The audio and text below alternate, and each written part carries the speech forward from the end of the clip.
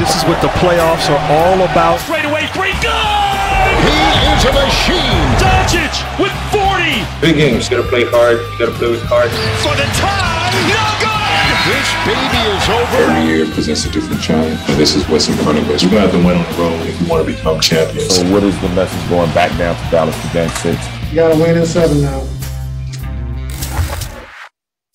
Kawhi Leonard versus Luka Doncic, Game 5, advantage Luka putting on a show at Staples 42 8 and 14. Tim Hardaway Jr. doing his thing too. The Mavs take the 3 2 series lead. As for Kawhi, 25 and 5. Not his best playoff performance, and now he faces elimination in Game 6. Let's check in and see where everyone's mindset is right now.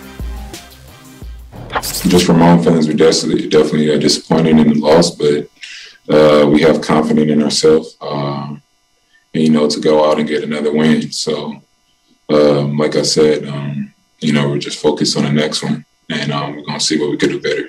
We're confident. You know, we're confident we can extend the series and bring this back home. We got to go to Dallas, and uh, it's gonna be another hard uh, environment, another tough environment for us to go into. But um, it's what we got to do. Um, it's the job that we got in front of us, and uh, we got to tackle it.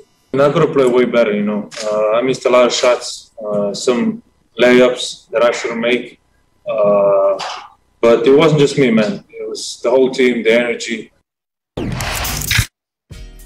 Luka single-handedly outperformed the Clippers duo of Kawhi Leonard and Paul George last night. He scored almost the same amount of points as them, but shot better from the field, including better from deep. He was also creating more for his team, having more assists than Kawhi and PG combined. Max. Yeah. Is this series more about Luka or Kawhi? Uh, you know what? I want. I, would like Stephen A. to start because um, I want to focus on Luka, Stephen A. And I know you have things to say about Kawhi. Oh, absolutely. This is all about Kawhi Leonard. Uh, I don't want to hear anything about Luka. Now, don't get me wrong. I must bring up Luka when I'm talking about Kawhi because I was told, and I think I was told by Max Kellerman and various others about the superstar that Kawhi Leonard was. Okay, See. and we understand that in this series he's averaging 30. Okay, Kawhi Leonard is averaging 30 on 57% shooting. So it's not like he's some scrub or something like that. This brother's a star. But I think I was told he actually could play defense. Well, why is it then that when we talked about him and Paul George, two way players, and I'm focusing more on Kawhi than Paul George because my problem with Paul George is that I just think he needs to be more assertive and aggressive and play like the star that he is. But he ain't the number one dude. That's supposed to be Kawhi Leonard. And I'm watching Luka Doncic average 35 9 and 8. I'm going to say that again 35, 9 and 8 on 47% shooting and 43% shooting from three point range. Last night in three quarters, he had 40. 40 in three quarters. Shot 1 of 8 in the fourth quarter, 0 for 3 from three point range, scored just two points in the fourth quarter, but he had 40 in three quarters. Only two members of the Dallas Mavericks scored in double digits. Luka and Tim Hardaway's 20. Porzingis didn't even have more, nothing but eight points. And you still lose on your home court? Wasn't the crown dangling from the convertible Kawhi Leonard? Was it you, that dude that was coming to claim LA? Better question. What would we be saying if this were LeBron James? You'd face the franchise. You're supposed to be leader. You're supposed to be that dude that everything evolves around. If this were LeBron James, we would be killing him. See, this is moments like this is what LeBron James should use to crystallize as to why he can't stand the media or critics or pundits or whatever. Because this is where we are grotesquely unfair to him. If this were LeBron James, we'd be all over him. 20 points, 7 to 9 shooting, game five at the time of series 2 2. Uh, going back to Dallas with a game six on your home court, you can't win. Three home games, three losses. Let me tell you something, Max Kellerman. I think Steve Ballmer got to get the hell out of the Staples Center as quick as he possibly can. No doubt. Get get another arena. Get No another doubt. arena. Move to another city if you have Look. to. Let me tell you something. They lose this, man. They lose this series, and I give props to Dallas because see, I didn't pick Dallas to win another game because of that nerve damage in Mm-hmm. Luka Don. I don't know how he did. I'm like, it's nerve damage in the neck. How the hell can you overcome that in two days? But he did. He did. And I'm looking at Steve Ballmer. I'm like, you just keep losing at the Staples Yeah, Center. th- just, this just is the point, Stephen hole. A. I agree with the Staples. Center point. I agree with it. First of all, when you get the Wednesday games and, and the Lakers get all the good dates, you should get out of there anyway. But Why? I agree with you. What's I agree with Wednesday you. game?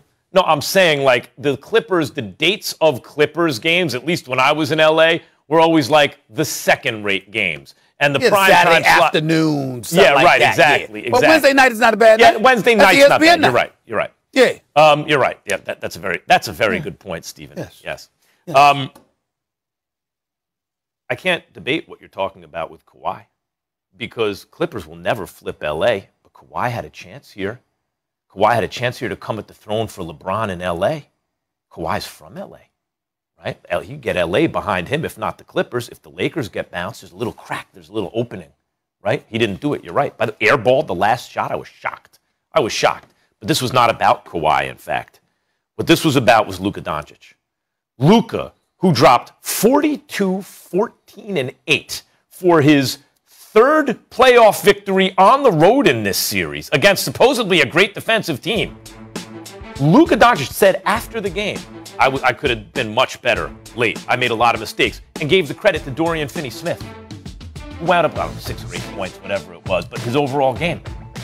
Luka, and, and, and this is something people have to understand. Right now, Stephen A., put all the NBA players on a scale. What's their value? Which means not just who would you build a franchise around, because maybe it's Zion, that's years away still, or some young player. It's not just who's the very best player in the world right now. Do we know that Luka is better than, say, James Harden right now? But he's 10 years younger. I'm saying add everything up and say if you had to put everyone in a trip, who would get the most in a trade? Who's the most valuable commodity in the NBA? The answer is Luka Doncic, and it's not close. He is 22 years old and can walk into playoff series against defenders like Kawhi and Paul George, and they don't seem to want it with him. As you said, Porzingis supposed to be a second banana. He don't have it. Every year he's hurt, and he has to get back to where he is. And when he's at his best, he's very good. That's not right now. Tim Hardaway Jr. has been excellent. They have guys like Kleber and Finney Smith who can play, but this is Luka Doncic completely controlling the game and being the best player on the floor. This is about Luka. Nope, nope. Because Luka takes Kawhi off the hook, and I'm not gonna let that happen. Here's the deal: Luka's big boy and dudes. Luka, you know Patrick Beverley. You ain't even on the on, the, on in the on, the- you know you're not even in the rotation anymore because Luka's out there and he big boys you. You just too small for him. Rondo, same thing. Uh, uh, width wise, in terms of Paul George, maybe a little bit too Rondo small. wasn't good last night. I was Tell me, tell surprised. me, tell me. That that's not Kawhi Leonard. Kawhi Leonard, you see those muscles that he's got? You know he's a legit six seven, right? Just like Luka, right? And that, last time I checked, Kawhi ain't supposed to be. This is the dude that got MVP because he was guarding LeBron James. Now LeBron James averaged 28 points in that finals in 2014, but was held to 37% shooting by Kawhi Leonard. And Kawhi Leonard got MVP because of that. Well, now here we are, Luka. And what does Ty Lue say in the post-game conference? we asked Kawhi to do a lot, you know, and and he was tired. What? Didn't y'all rest coming into the postseason?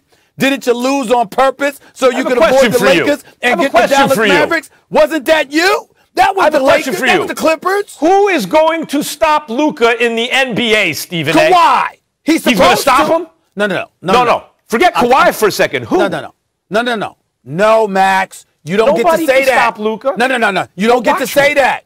Kawhi is supposed to figure. I'm not saying to completely stop him. Forty and three quarters. Forty. He wasn't playing. He wasn't Hold on, hold on. defending him most possessions. Max, Max, Max, stop. Game seven last year, Max. What did Jamal Murray do? You're right. 40. That's on the Kawhi team. What's up? What's But up? But that, What's but part up? of that is the Ain't defensive that what he's scheme and the supposed to be doing? Stephen A. Part of that is the defensive scheme and the coach. Like that's not that's not just Oh my Kawhi. God! All right. Oh my God! Gentlemen, Max, we gotta I know leave it that there. literally, but theoretically, come on, Max, you gotta find you the star. You Kawhi. All right. Well, look, look, I don't time, guys. disagree with that. The offensive player always has the advantage. I'm telling you right now, there's no one in the NBA going to stop Luka. No Okay, one's oh, stopping so- Luka. Okay, I got it. I got it. Molly, by the way, no more debates. I apologize, Ma- Molly. No more debates. Because according to Max, oh, the offense player already. So we don't even have to. We there's no reason to debate no more. We don't need to even talk basketball anymore. Because according to Max, saying if you're an offensive players on juggernaut, equal footing no one can offensive player? stop you. So far be it for us to hold Kawhi accountable. You letting All him off the hook. You can hold You're letting him Kawhi off the hook. accountable. Who's all the you want. juggernaut Last of all about Luka. Juggernauts in college basketball? And I want to hear from him, and that's what's going to happen here on ESPN. One of the greatest coaches.